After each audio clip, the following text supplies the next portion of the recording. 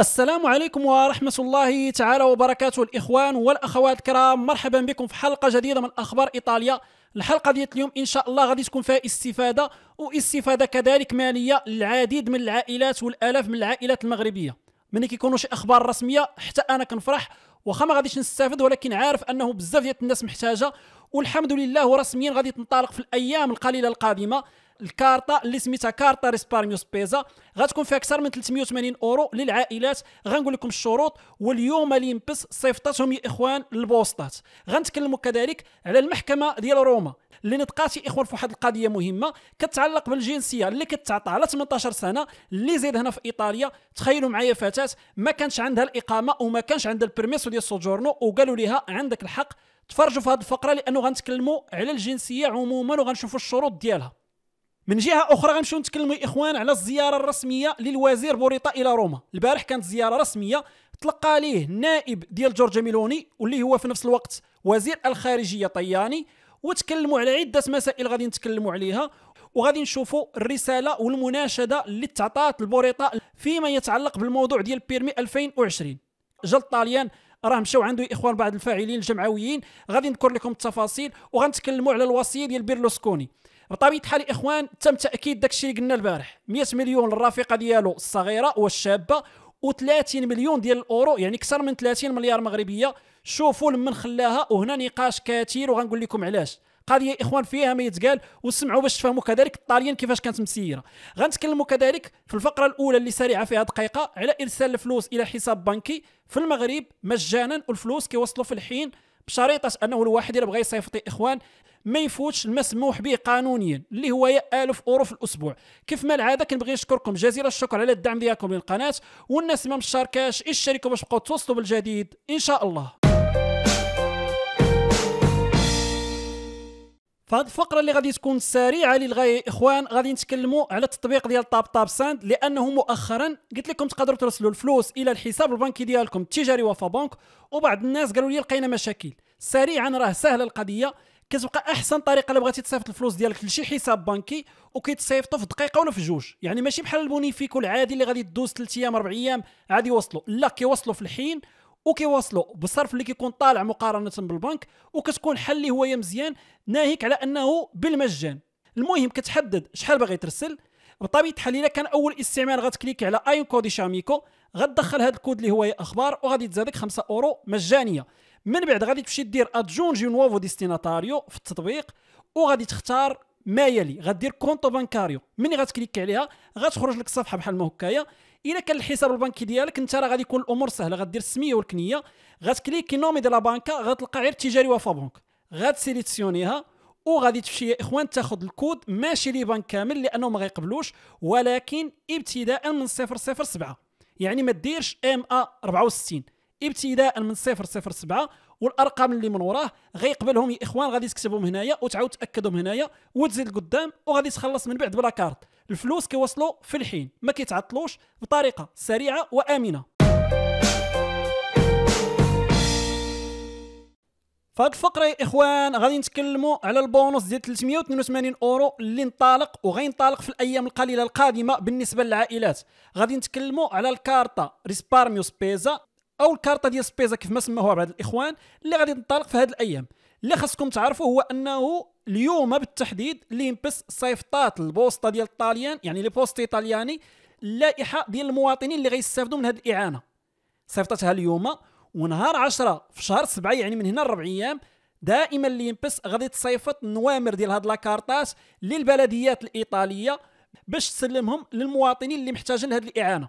يعني انطلاقا من نهار 10 ولا نهار 11 البلديات غيبداو يصيفطوا البراوات للملاذ ديال المواطنين اللي عندهم الحق في هذه الإعانة. بطبيعة الحال السؤال اللي كيطرحوه بزاف ديال الناس واش خاصني ندفع ولا ما خاصنيش ندفع؟ واش خاصني نمشي لشي بلاصة واش نمشي للبلدية؟ ما خاصك دير حتى شي حاجة. من غير أنه الوقيتة اللي توصلك البرا تمشي تاخذ ديك لاكارت من البوسطة ومن بعد قبل 15 في شهر 9 تخلص بها على الأقل شي حاجة. حيت إلا خديتي la carte وما استعملتيهاش من هنايا ل 15 في شهر 9 غادي تلغى وغيعتبروه بحال أنه أنت ما بغيتيش هذه المساعدة. يعني خصك لابد ما تخلصش شي حاجة من هنايا للمنتصف ديال شهر 9 بطبيعة الحال إلا استعملتيها سريعا راه غادي يبقى عندك الحق أنك تستعملها إلى غاية نهاية السنة.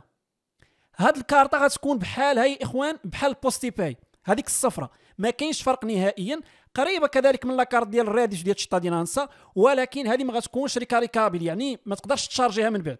غادي تستعملها تخويها من هاد 380 أورو اللي غيديروا لك فيها وصافي. هاد 380 أورو تقدر تستعملها عند المحلات التجارية. تشري بها أي حاجة بغيتي إلا جوج ديال الحوايج. ما تقدرش تشري بها الكارو الله يعفو على الجميع وكذلك المشروبات الكحولية والله يعفو على المستهلكين ديال هذه المواد. المهم اجمالا الكارطه إخوان غادي تنطلق في الأيام القادمة.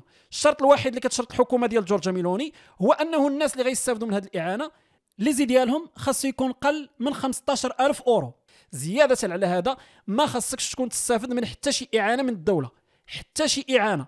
ما تكونش تاخذ دخل المواطنه ما تكونش تاخذ la NASpI la disoccupazione ما تكونش تاخذ l'indennità di mobilità. وما تكونش تاخذ كذلك cassa integrazione بطبيعه الحال شي واحد غيقول لي ودي أنا راه عندي la NASpI ولكن راه كناخذ شي حاجة قليلة. ما وصلش ل 200 اورو بطبيعه الحال واخا تكون la NASpI ديالك قليلة بزاف ما غيكونش عندك الحق باش أنك تستافد من هذه الإعانة. وحاجة أخرى اللي هي مهمة الدولة راه مخصصة يا إخوان واحد الصندوق لهذه العائلات ما كيعنيش أنه جميع الناس اللي عندهم l'ISEE قل من 15000 أورو غادي يستافدوا. البلديات غادي يوزعوا على حساب الناس اللي عندهم في البلدية ديالهم على حساب الاحتياج ديال هاد العائلات وعلى حساب شحال من العائلة يقدروا يصيفطوا لها هاد la carte. يعني راه ما غيقدروش يغطيو جميع العائلات في ايطاليا اللي عندهم l'ISEE أقل من 15000 أورو. غيتموا غادا على حساب l'ISEE هو غادي طالع وحاجة أخرى اللي هي مهمة هاد الشيء ما غتكونش فيه الزبونية ولا حق ال sindaco راه كيعرف فلان ولا حيت راه ما كيحملش المغاربة لأنه اللي عطى اللائحة هي l'INPS. l'INPS يا إخوان خدمات على اللائحة ديال هاد الناس صيفطات. لاكارتات إلى البوسطة وصيفطت النوامر ديال لاكارتات والأسماء ديال المستفيدين إلى البلديات وهما غيتكلفوا. يعني راه ما كاينش فيه إخوان هذا الشيء زعما كاين هذا راه السين داك وعندنا عنصري ولا شي حاجة. كنقول هذا الشيء إخوان غير باش ما تبقاش الشكوك حول هذه المساعدة. فهاد الفقرة يا إخوان غادي نتكلموا على القانون ديال الجنسية الإيطالية.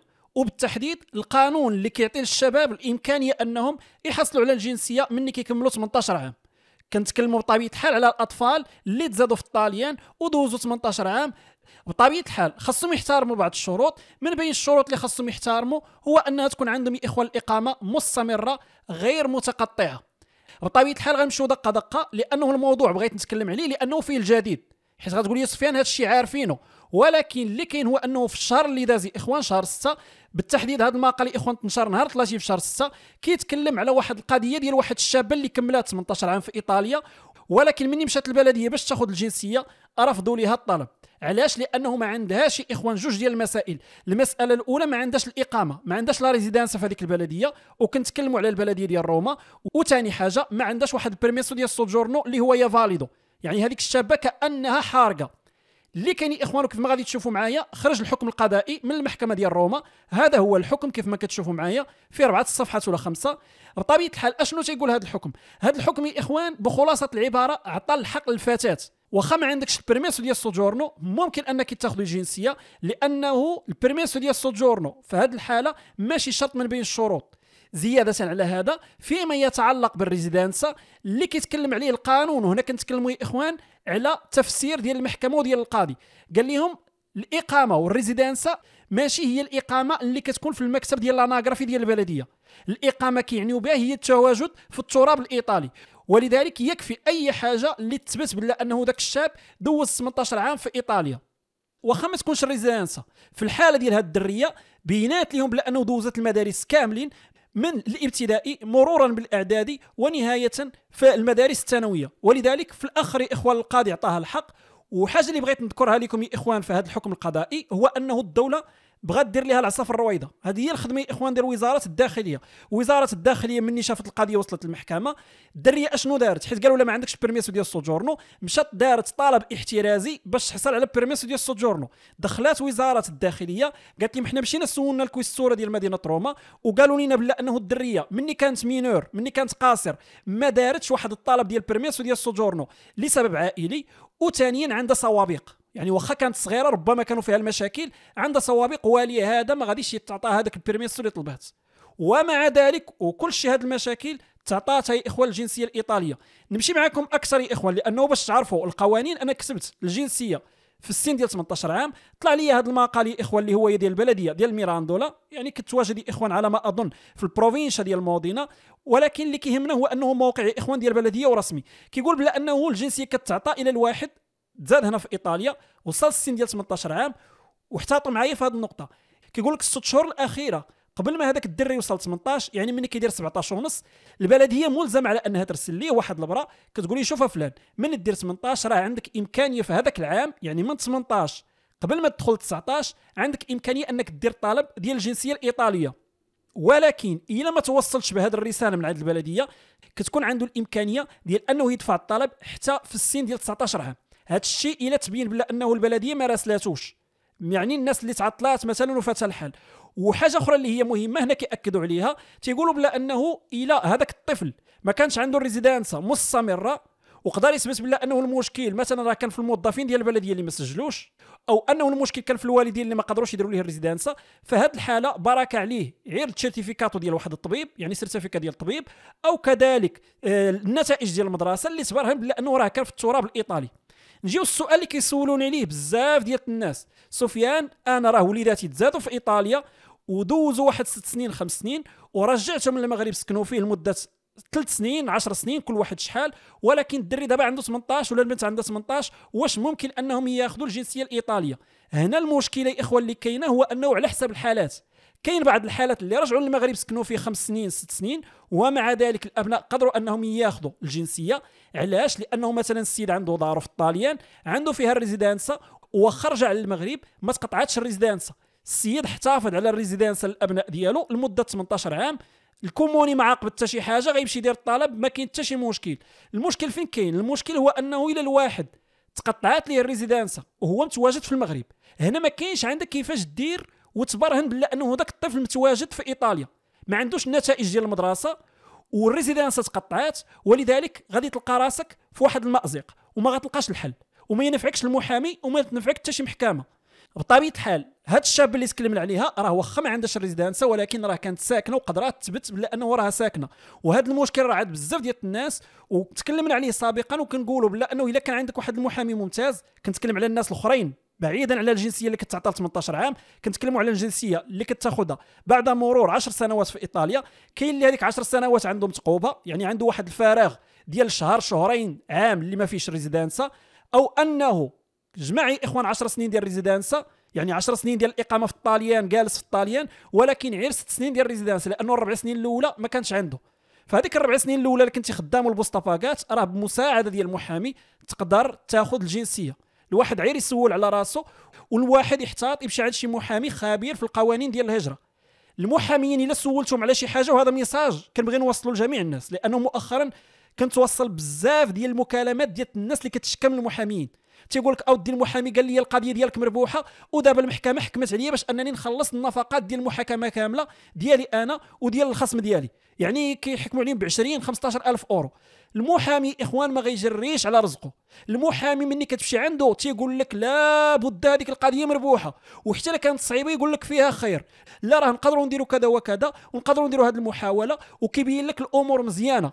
العكس إلا مشيتي أنت عنده باغي تدافع على راسك.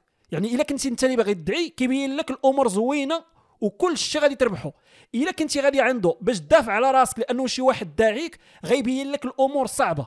ولكن عنده واحد الحل اللي هو قادر عليه. وبطبيعه الحال الاخوان شوية كيبغيو يلعبوا على النفس. آه لا حقات الشيء صعيب لا راه القضية ديالك صعيبة باش يقدروا ياخذوا فلوس أكثر. هذا الشيء اللي فهمت من خلال التجربة. وراه ماشي كنعمم جميع المحامين راه كاين اللي نازيه وكاين إخوان اللي كيخدم بنزاهة وما فيش هاد القوالب. حنا ما غاديش نعمو نهائيا كيف ما أنه ما عمرني ما عممت على أي ميدان. كل دومين فيه الناس الزوينين والخايبين. غير احتاطوا صافي ما يعني ما تبقاوش دائما ورا المحاميين احتاطوا صافي. هذا الشيء اللي نقدر نقول لكم على حساب التجارب ديال الناس اللي كتعيط لي مؤخرا. في هذه الفقرة يا إخوان غادي نطرقوا للزيارة اللي قام بها الوزير ديال الخارجيه المغربي وكذلك الوزير المكلف بالجالية المغربية المقيمة بالخارج السيد ناصر بوريطة إلى مدينة روما. البارح كان في روما من أجل واحد الاتفاق وواحد الشراكة اللي كاينة ما بين إيطاليا والمغرب وكان في الاستقبال ديالو الوزير ديال الخارجية ونائب رئيسة الحكومة جورجا ميلوني السيد طياني. بطبيعة الحال غنتكلموا على هذه الشراكة أشنو كان فيها وأهم الأشياء ولكن قبل غنوريكم الصور إخوان ديال هذا اللقاء اللي كان هنا البعثة المغربية وهنا الجانب الإيطالي. هنا بطبيعة الحال كيف ما غتشوفوا صور أخرى وفيديو ديال اللحظات الأخيرة في هذه الزيارة. طياني كيودعي إخوان الوزير بوريطة اللي كيقول لي بون فواياج بالفرنسية يعني رحلة سعيدة. وهنا إخوان غنوريكم اللحظات ديال الإمضاء على هذه الاتفاقية كيف ما كتشوفوا.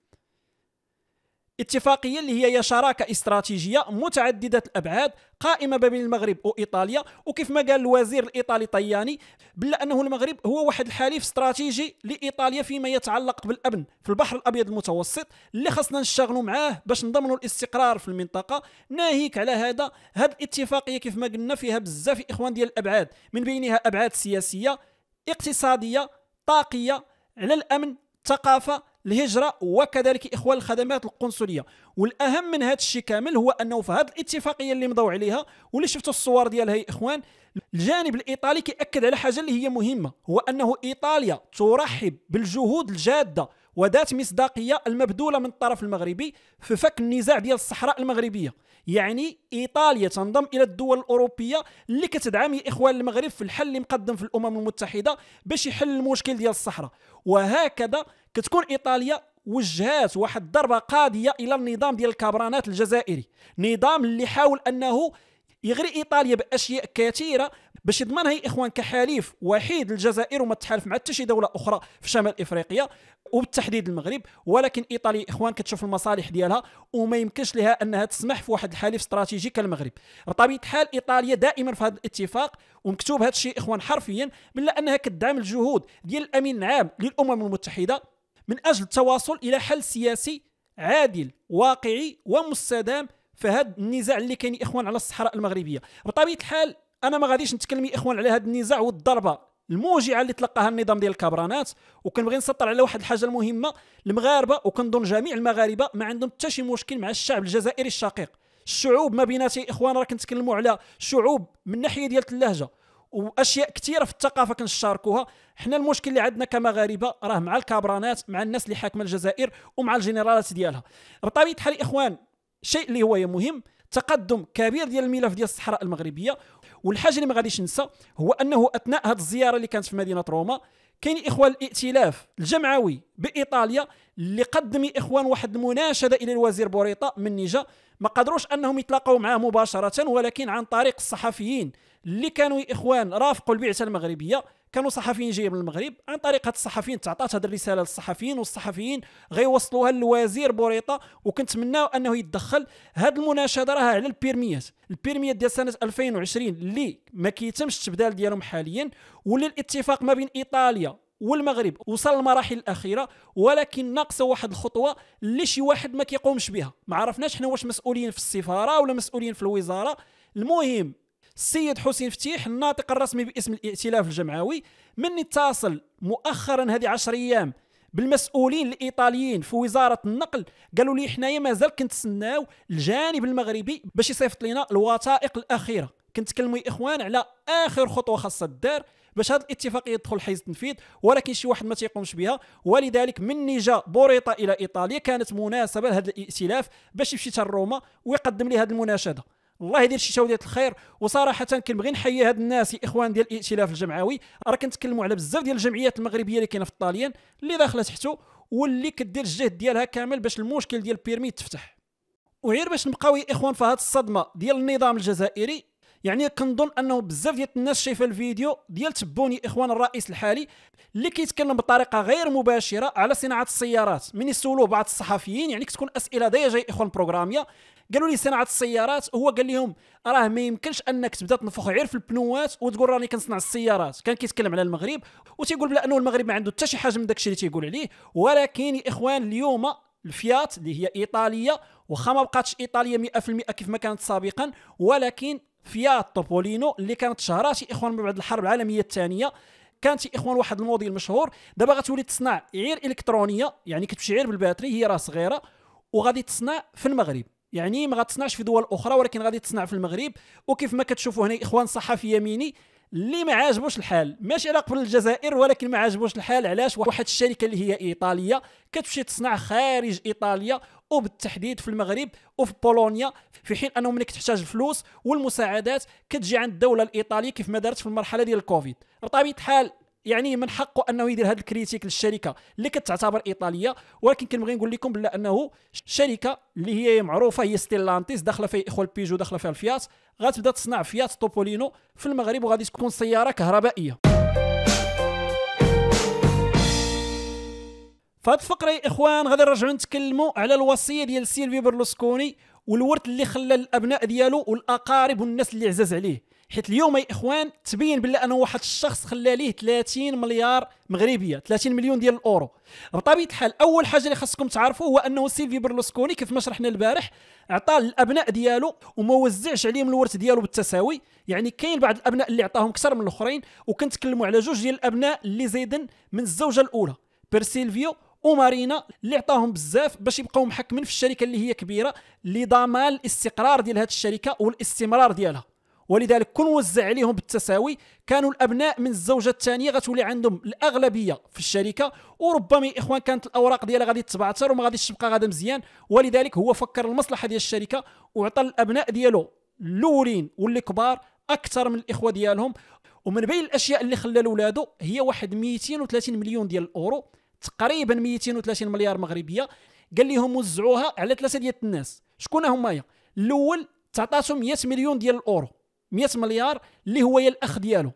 الثاني هي يا الرفيقة ديالو اللي رافقاته حتى لآخر الأيام اللي عاش واللي هي يا مارتا فاشينا. تعطاتها حتى هي إخوان 100 مليار 100 مليون ديال الأورو. والثالث هو اللي عليه ال polémique اليوم. هو يا السياسي ديل لوتري. هاد ديل لوتري تعطاتو 30 مليون ديال الأورو. 30 مليار مغربية. وكاينة polémique كبيرة بزاف. علاش؟ لأنه ديل لوتري. وسمعوا الغرابة يا إخوان ديال إيطاليا. أنا مني كتسمع أخبار من هذا النوع ما كتفهمهاش كلها. ديل لوتري سياسي قريب من سيلفي برلوسكوني صديق عزيز عليه بزاف وكيلقبوه بال braccio destro ديال سيلفي برلوسكوني اليد اليمنى ديالو. يعني كان واقف بجنبه دائما وتمت الإدانة ديالو ماشي من المحكمة الإبتدائية والاستئناف بل من المحكمة ديال النقد. أعلى درجة ديال القضاء الإيطالي بسبب العلاقة اللي كانت عنده مع المافيا ديال كوزا نوسترا اللي كاينة في باليرمو في سيشيليا. يعني كانت عنده علاقة كبيرة مع المافيا ولكن العلاقة اللي كانت عنده كانت وهذا الشيء كيقولوا المحاكم من أجل تنسيق العلاقات اللي كانت عند سيلفي برلوسكوني مع المافيا. يعني سيلفي برلوسكوني كان كيستعمل ديل لوتري باش يكون بحال السمسار ما بينه وما بين المافيا. علاش؟ باش المافيا تعاونوا من الناحية السياسية وتعاونوا كذلك في الاستثمارات ديالو وفي الفلوس اللي عنده. يعني إلا بغى يدير شي حاجة المافيا توقف معاه. هذا الشيء اللي كتقول المحاكم ومن أجل هذا الشيء المحكمة في 2004 يعني كنتكلموا على بزاف ديال الوقت هذه ادانت ديال لوتري لتسعة ديال السنوات ديال السجن. طعن في هذا الحكم والمحكمة الاستئنافية لغات ليه الحكم. في 2010 غادي تحكم عليه المحكمة بسبع سنوات ديال السجن. هاد السبع سنين اللي حكمت بها المحكمة غتأكدها المحكمة ديال الاستئناف والمحكمة ديال النقد وفي 2014 من غيخرج الحكم ديال محكمة النقد غيكون هو يا ساكن وعايش في ليبيا. هربان تمايا. ولكن ليبيا بحكم أنه كانت عندها علاقات مزيانة مع إيطاليا كانت عندها اتفاقيات وغادي ترجعوا الاخوه الطاليان وغيدوز ست سنوات في السجن وعام في ال domiciliari. يعني الغرابة في الأمر في هذا الشيء كامل شنو هي؟ هو أنه ديل لوتري تمت الإدانة ديالو لأنه كان وسيط ما بين سيلفي برلوسكوني والمافيا. ولكن سيلفي برلوسكوني ما عمره ما تم الإدانة ديالو على حساب المافيا. يعني دائما كان كيخرج براءة. ولذلك كاينة غرابة في الموضوع. علاش أنا غادي نتحاكم لأنني كنت وسيط؟ وهذاك السيد اللي توسطت ليه ما عمره ما تمت الإدانة ديالو من المحاكم الإيطالية. دائما تيخرجوه براءة. ولذلك كيف ما كتعنون صحيفة لا ريبوبليكا كتقول لك الصمت يساوي الذهب. يعني الصمت ديال ديل لوتري أثناء المحاكمات وأثناء هذه الجلسات اللي دازت في المحكمة راه عنده الوزن ديالو تعطاتو 30 مليون ديال الأورو باش يحافظ على الأسرار حتى من بعد الوفاة ديال سيلفي برلوسكوني ديل لوتري ملي تكلمت مع صحيفة الكوريري ديلا سيرا قال لي واش كان في راسك الشيء قال لي ما كانش في راسي نهائيا أنه كاتب لي شي حاجة في الوصية ديالو. أنا فاجئني هذا الشيء وأثر فيا بزاف. وكيف ما قالوا بزاف ديال التعاليق حتى حنا كون ورثنا شي حاجة كنا غنتاثروا بزاف. بطبيعة الحال ديل لوتري مني سولو آخر مرة تلاقيتي مع سيلفي برلوسكوني قال لي آخر مرة تلاقيت معاه كانت أيام قليلة على الوفاه ديالو. مشيت درت ليه الزياره والكلام اللي كان عندنا على السياسة وعلى الحزب فورسا إيطاليا. كان كيقول لي أنت يا ديل لوتري خاصك تولي تختار الناس اللي نرشحوهم في الحزب. وأنا كنت كنقول ليه سيلفيو أنا راني بعدت على السياسة ومع ذلك كان كيلح عليا وكان يصر أنني نقوم بهذه المهمة وأنا حيت الحالة الصحية ديالو صعيبة كنت كندير ليه خاطر وتنقول ليه صافي. الانتخابات الجاية أنا اللي غادي نتكلف. بطبيعة الحال قال ما كناش كنظنوا أنه غادي يتوفى في هذيك الأيام ولكن ما كنتش كنظن كذلك أنه غادي يخلي لي هاد الفلوس كاملة. هو يا إخوان ديال ال loterie راه لاباس عليه ماشي شي واحد اللي هو محتاج ولا شي حاجة راه كنتكلموا على مليونير إيطالي ولكن هاد 30 مليار اللي غادي تزادوا راه غادي يعجبوا الحال.